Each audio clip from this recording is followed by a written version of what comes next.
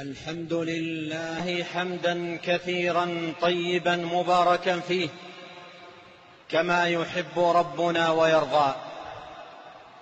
له الحمد جل وعلا بالإيمان وله الحمد بالإسلام وله الحمد بالقرآن وله الحمد بالمعافاة. له الحمد سبحانه بكل نعمة أنعم بها علينا في قديم أو حديث أو سر أو علانية أو خاصة أو عامة. له الحمد سبحانه حمدا كثيرا حتى يرضى جل وعلا وله الحمد بعد الرضا. وأشهد أن لا إله إلا الله وحده لا شريك له وأشهد أن محمدا عبده ورسوله صلى الله وسلم عليه وعلى آله وصحبه أجمعين. أما بعد أيها المؤمنون عباد الله اتقوا الله تعالى وراقبوه جل وعلا. مراقبة من يعلم أن ربه يسمعه ويراه. أيها المؤمنون عباد الله ويا أيتها الأخوات المؤمنات إليكم قصة عجيبة عظيمة فيها عبرة وعظة إنها قصة امرأة من أهل الجنة. روى البخاري ومسلم في صحيحيهما عن عطاء بن أبي رباح قال قال لي عبد الله ابن عباس رضي الله عنهما ألا أريك امرأة من أهل الجنة؟ قلت بلى. قال هذه المرأة السوداء. أتت النبي صلى الله عليه وسلم وقالت إني اصرع وإني أتكشف فادعوا الله لي. قال إن شئت صبرت ولك الجنة وإن شئت دعوت الله أن يعافيك. فقالت أصبر. فقالت إني أتكشف. فادعوا الله لي ألا أتكشف. فدعا لها. أيها المؤمنون ويا أيتها الأخوات المؤمنات لنتأمل في قصة هذه المرأة العظيمة. فهذه المرأة معها إيمان وصدق ونقاء وصفاء ودين وحياء وبها هذه الشدة والبلاء ألا وهو ما أصابها من صرع فكان يؤرقها ويقلقها ويؤذيها ويضجرها فجاءت طالبة من النبي عليه الصلاة والسلام أن يدعو الله لها أن يكشف ما بها من ضر وأن يرفع عنها ما أصابها من بلاء. فأرشدها عليه الصلاة والسلام إلى ما هو أعظم لها من ذلك ألا وهو أن تصبر على الشدة والبلاء واللأواء وتكون العاقبة الجنة. فاختارت حسن العاقبة وجميل المآل وأن تكون من أهل الجنة بضمانة رسول الله صلى الله عليه وسلم إن صبرت فاختارت الصبر رضي الله عنها وأرضاها. إلا أن ما كان يصيبها من تكشف بعض عورتها وتكشف بعض أعضائها وجسمها حال صرعها مع أنها بتكشفها في هذه الحال معذورة لمرضها لأنها ليست مختارة لذلك ولا قابلة له ولا راضية به. ومع ذلك شدة حيائها وقوة إيمانها ونقاء قلبها وحسن ذكائها جعلها تقلق أشد القلق من هذا الانكشاف. فاختارت الصبر رضي الله عنها ولها الجنة إلا أنها قالت إني أتكشف. أي أن هذا أمر لا أتمكن من الصبر عليه. وإن كان واقعا عن غير اختيار مني. فدعا لها رسول الله صلى الله عليه وسلم فكانت بعد ذلك تصرع ولا تتكشف بدعوة النبي عليه الصلاة والسلام. ما أحوج المرأة المسلمة إلى دعوة صادقة تلتجئ بها إلى الله سبحانه أن يعيذها من أن تتكشف. وفي الدعاء اللهم آمن روعاتنا واستر عوراتنا. أيتها الأخوات المؤمنات إن قصة هذه المرأة قصة عظيمة تروى في مكارم الأخلاق وجميل الصفات ومحاسن القيم. وجمال الحياء ونقاء القلب وصفائه. نعم قالت يا رسول الله إني أتكشف فادعوا الله لي ألا أتكشف.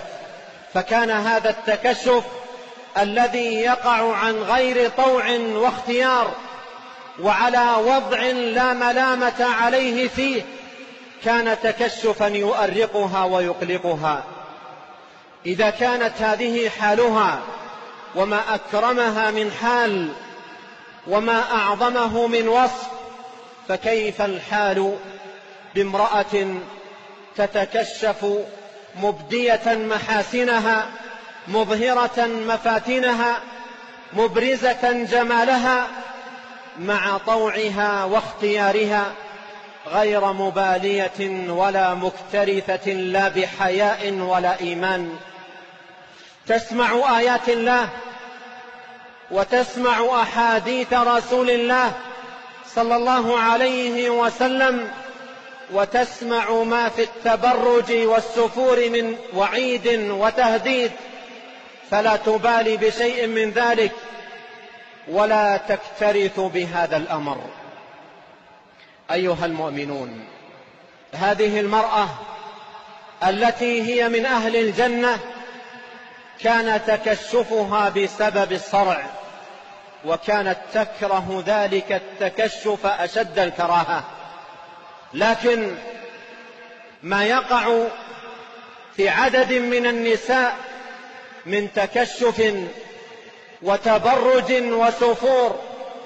سببه أيها المؤمنون صرع أصيب به هؤلاء النساء ولكنه من نوع آخر صرع شديد على من يصاب به وسببه ضعف الإيمان وقلة الدين وذهاب الحياء.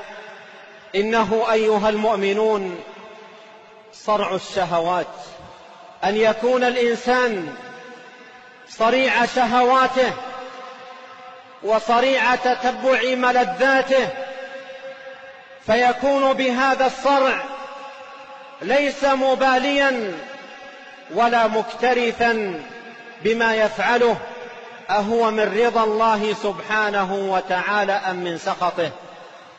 وبسبب كثرة الفتن وكثرة دواعي الشهوات وبروز أصناف المغريات في حياة الناس في هذا الزمن وما استجد فيه من وسائل حديثة كثير منها تؤجج الفتن وتثير في النفوس الشهوات من خلال قنوات آثمة ومواقع موبوءة لا هدف لها ولا غاية إلا إيقاع الناس في صرع الشهوات.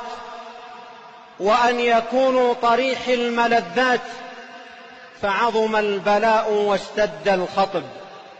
تحدث الإمام ابن القيم رحمه الله في كتابه العظيم زاد المعاد عن هذا النوع من الصرع وعن حال الناس معه وما أصيب به كثير من الناس بسبب ذلك. من فتن وعواصف شديده تعصف بالإيمان واليقين وتزلزل الأخلاق والحياء متحدثا عن حال الناس في زمانه فكيف به لو رأى حال الناس في أزمان متأخرة مع فتن متكاثرة؟ يقول رحمه الله تعالى وأكثر تسلط الأرواح الخبيثة تكون من جهة قلة دينهم وخراب قلوبهم وألسنتهم من حقائق الذكر والتعاويذ والتحصنات النبوية والإيمانية. فتلقى الروح الخبيثة الرجل أعزل لا سلاح معه وربما كان عريانا فيؤثر فيه هذا. ولو كشف الغطاء لرأيت أكثر النفوس البشرية صرعى هذه الأرواح الخبيثة وهي في أسرها وقبضتها تسوقها حيث شاءت ولا يمكنها الامتناع عنها ولا مخالفتها. وبها الصرع الأعظم الذي لا يفيق صاحبه إلا عند المفارقة والمعاينة. فهناك يتحقق أنه كان هو المصروع حقيقة وبالله المستعان. قال وعلاج هذا الصرع باقتران العقل الصحيح إلى الإيمان إلى الإيمان بما جاءت به الرسل وأن تكون الجنة والنار نصب عينيه وقبلة قلبه ويستحضر أهل الدنيا وحلول المثلات والآفات بهم ووقوع ووقوعها خلال ديارهم كمواقع القطر وهم صرعى لا يفيقون. وما أشد داء هذا الصرع. ولكن لما عمت البلية به بحيث لا يرى إلا مصروعا لم يصر مستغربا ولا مستنكرا بل صار لكثرة المصروعين عين المستنكر المستغرب خلافه. فإذا أراد الله بعبده خيرا أفاق من هذه الصرعة ونظر إلى أبناء الدنيا مصروعين حوله يمينا وشمالا على اختلاف طبقاتهم فمنهم من أطبق به الجنون ومنهم من يفيق أحيانا قليلة ويعود إلى جنونه ومنهم من يفيق مرة ويجن أخرى فإذا أفاق عمل عمل أهل الإفاقة والعقل ثم يعاوده الصرع فيقع في التخبط.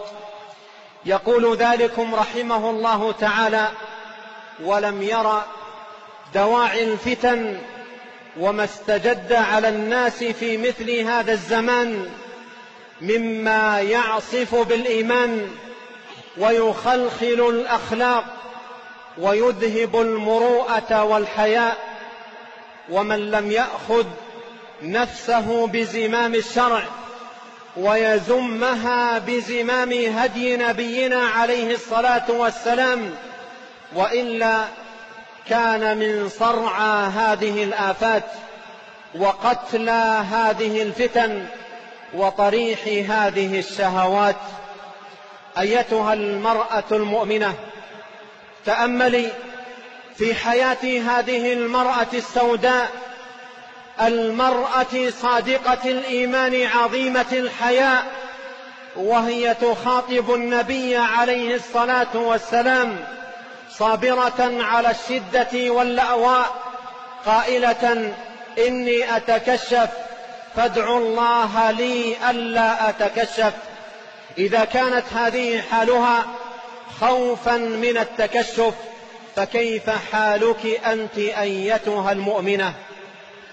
إن بعض النساء أيتها المؤمنات ابتلين في هذا الزمان بانهزامية عظيمة وتحول شنيع بسبب انبهار بحضارات زائفة وتقدم قاتل فأصبحت المرأة لا تقلد من هي معجبة بحضارتها إلا بتوافه الأمور وخسيس الأشياء وحقير الأخلاق فجنت على نفسها أعظم جناية وجرت على إيمانها أعظم بلاء.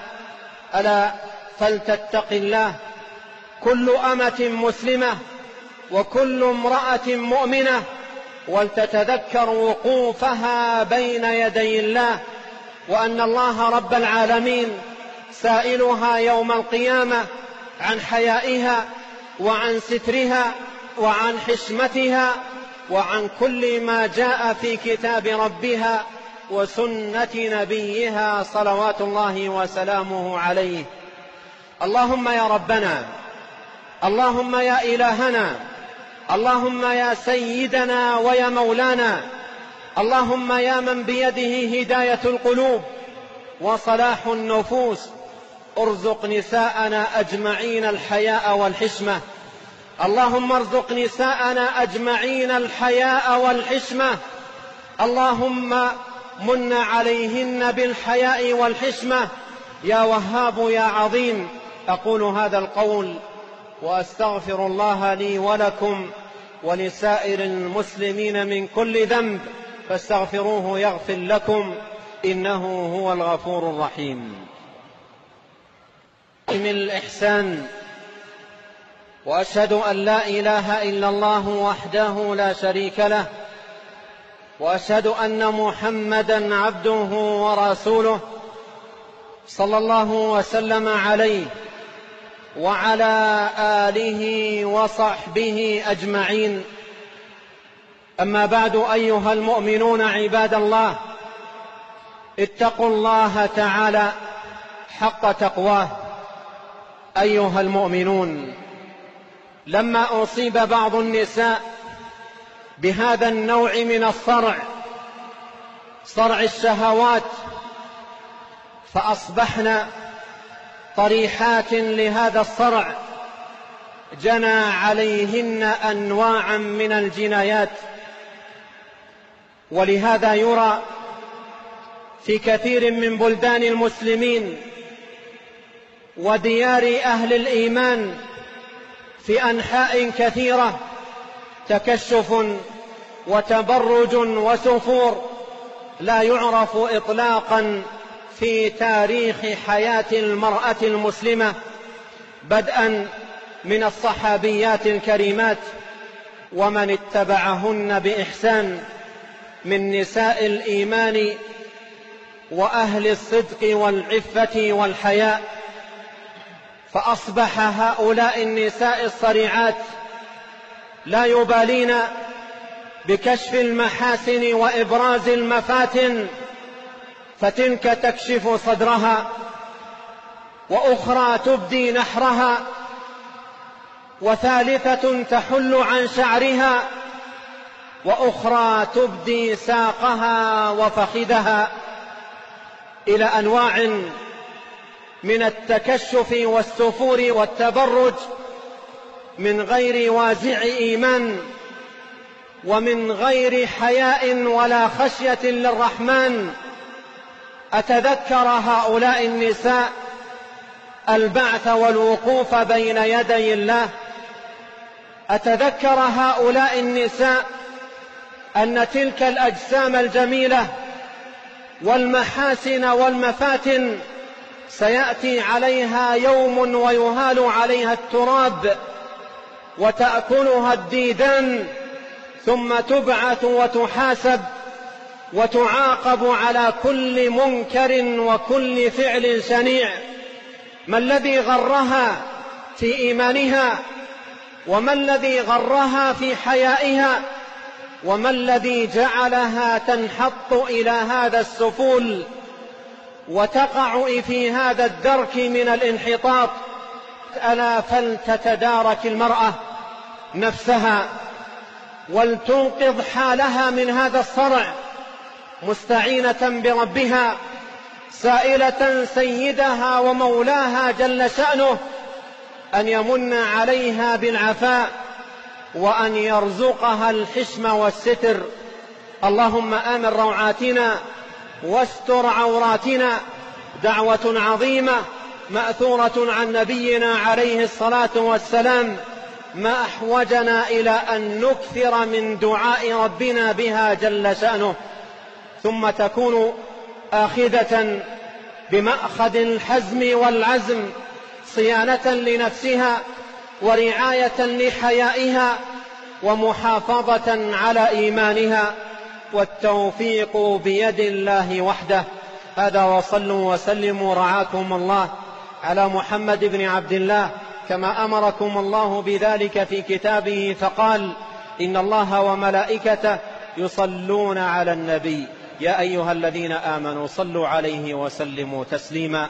وقال صلى الله عليه وسلم من صلى علي صلاة صلى الله عليه بها عشرا. اللهم صل على محمد وعلى آل محمد كما صليت على إبراهيم وعلى آل إبراهيم إنك حميد مجيد. وبارك على محمد وعلى آل محمد كما باركت على إبراهيم وعلى آل إبراهيم إنك حميد مجيد. وارض اللهم عن الخلفاء الراشدين الأئمة المهديين أبي بكر وعمر وعثمان وعلي. وارض اللهم عن الصحابة أجمعين وعن التابعين ومن تبعهم بإحسان إلى يوم الدين.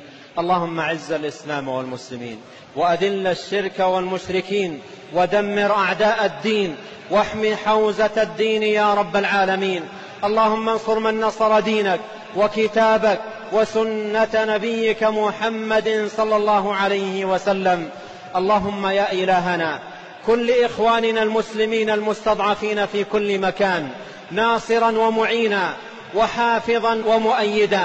اللهم أعنا وإياهم ولا تعن علينا وانصرنا ولا تنصر علينا وامكر لنا ولا تمكر علينا.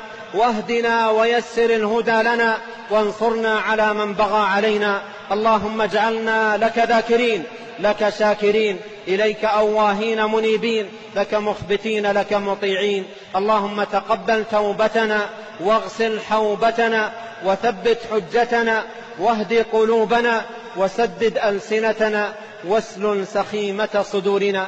اللهم وآمنا في أوطاننا وأصلح أئمتنا وولاة أمورنا واجعل ولايتنا في من خافك واتقاك واتبع رضاك يا رب العالمين. اللهم وفق ولي أمرنا لهداك واجعل عمله في رضاك وارزقه البطانة الصالحة الناصحة يا رب العالمين. اللهم وفق جميع ولاة أمر المسلمين للعمل بكتابك وتحكيم شرعك يا ذا الجلال والإكرام. اللهم آت نفوسنا تقواها زكها أنت خير من زكاها أنت وليها ومولاها. اللهم اغفر لنا ذنبنا كله دقه وجله أوله وآخره سره وعلنه. اللهم إنا نستغفرك إنك كنت غفارا. فأرسل السماء علينا مدرارا. اللهم أغثنا اللهم أغثنا. اللهم أغثنا اللهم إنا نسألك غيثا مغيثا هنيئا مريئا سحا طبقا نافعا غير ضار عاجلا غير آجل. اللهم اسقنا الغيث ولا تجعلنا من القانطين. اللهم اسقنا الغيث ولا تجعلنا من اليائسين. ربنا آتنا في الدنيا حسنة وفي الآخرة حسنة وقنا عذاب النار. اللهم آمن روعاتنا واستر عوراتنا اللهم آمن روعاتنا واستر عوراتنا. اللهم آمن روعاتنا واستر عوراتنا. عباد الله اذكروا الله يذكركم واشكروه على نعمه يزدكم ولذكر الله أكبر. والله يعلم ما تصنعون.